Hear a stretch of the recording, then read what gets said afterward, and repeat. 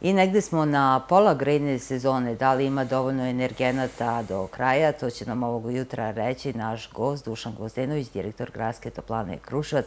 Dobro jutro i dobrodošli. Dobro jutro i hvala na pozivu. Evo, već smo negde pola grejne sezone prigurali. Kakva je situacija?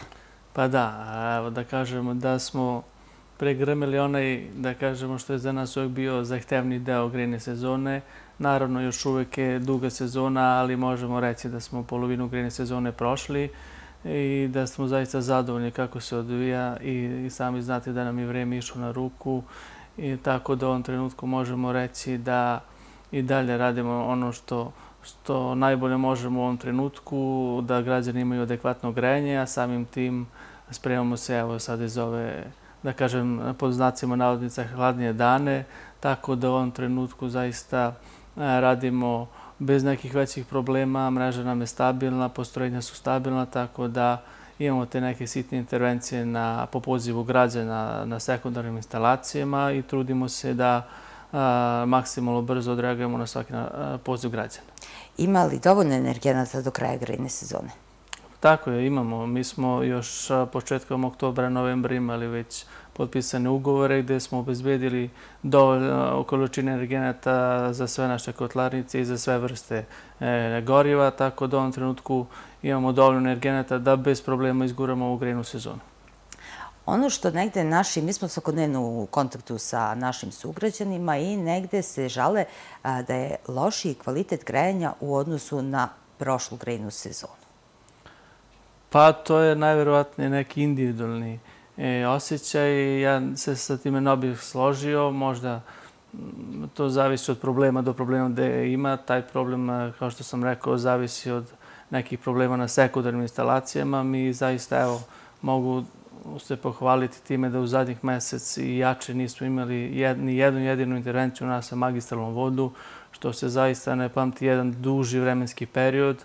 To je samo znak da se tokom leta dobro radilo. Naravno, uvek uvek može da se nađe neke, naravno, i uvek može bolje i uvek može da se dese neke nepredviđene okolnosti, ali moj lični utisak je da sigurno nije gore nego prošle godine, a to i potvrđuju naša merenja gde redovno tokom svake nedelje merimo po pozivu građana, odlazimo kod njih u stanove, gde nikad u 90% slučajeva niko nije imao ispod 21 stepen, a svi znamo da su propisi ministarstva da dnevne temperature u sobama budu 20 stepeni, a tokom noći da budu oko 18. Tako da zaista ispunjavamo taj kriterijum i pridržavamo se toga da posle ove energetske krize moramo da štedimo energiju, a mogu vam reći da smo mi zaista i uspjeli da imamo neke uštede u odnosu na prošlu godinu. Vi ste se pridružili kampanji Čuvaj štedine, rasipaj energiju. Šta to zapravo znači? Pa to je neka akcija Ministarstva energetike gde e, su se toplane u Srbiji uključili da e, na jedan način e, i na jedan vid promovišemo uštedu energije. Mi smo na našem sajtu stavili neke linkove i informacije kako naši građani mogu na najbolji način uštediti i električnu i toplotnu energiju, tako da svi građani koji su zainteresovani za to mogu otići na sajt Gradske toplane i više se informisati o tome, o tim uštedama koje je propisano i koji daju rezultate. Ova zima je najavljivana kao veoma teška. Sljedeća da će biti još teža. Da li je Gradska toplana već počela sa nabavkom energenata za sljedeću grejnu sezonu ili ne?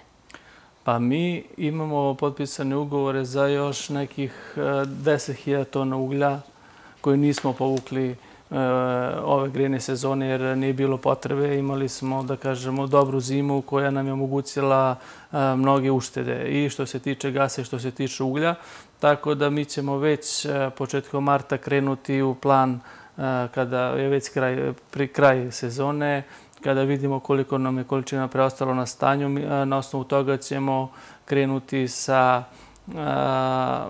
planom za nabavku energenata i ispitat ćemo kao i svake godine što radimo tržite da vidimo gde je najpovoljnije, kakvi su uslovi i kvalitet uglja i mazuta, tako da na osnovu toga ćemo krenuti u plan, krenuti e, da radimo onako kao svake godine što radimo, da se na vreme spremamo za grinu sezonu, da ne dozvolimo da kad dođe oktobar da nas nešto ne iznenadi, ne iznenadi sa, sa nekim nižim temperaturama kao što smo prošle, preprošle u stvari godine imali gde smo morali već 2. oktobra i 5. oktobra da krenemo sa punom parom u grejnu sezonu. Ove godine je to bilo malo drugačije, ali već od marta meseca intenzivno radimo na na, na pripremama za nabavku energenata, tako da ćemo kao i svake godine u oktobru imati dovoljne količine e, za veći deo grejne sezone. Dušane, hvala puno na ovom gostovanju i nadam se da ćete nas dobro grejati do kraja grejne sezone. Ništa, hvala vama na pozivu. Mi se iskreno nadamo da hoćemo, što je naravno i naš zadatak i ja se iskreno nadam da će ova sezona se završiti onako kako smo i očekivali da bude uspešno. Hvala puno. Hvala vama na pozivu.